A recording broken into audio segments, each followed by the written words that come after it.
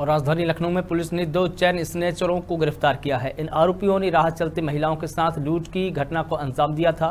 DCP Rahul Raj ने बताया कि पुलिस ने दोनों चैन स्नेचरों को गिरफ़्तार कर लिया है। उनके पास से लूटी हुई सोने की चैन और घटना में प्रयुक्त होने वाली मोटरसाइकिल भी बरामद की है।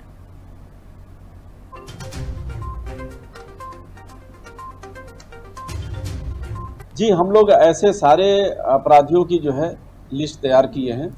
जो कि विगत समय में लूट की घटनाओं में शामिल रहे हैं और उनको हम लोग ट्रैक कर रहे हैं और कहाँ हैं, क्या है उनका। अब चूँकि ये दिक्कत हुई कि ये जो अभी अपराधी पकड़ा गया है, ये हरियाणा में जेल में था, यहाँ पर था नहीं ये।